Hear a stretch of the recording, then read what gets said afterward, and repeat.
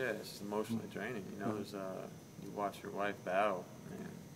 She was grinding, man, for a long time, 30 hours. You know, like, uh, and so, you know, like you, like you want to make it better, but you can't really do that.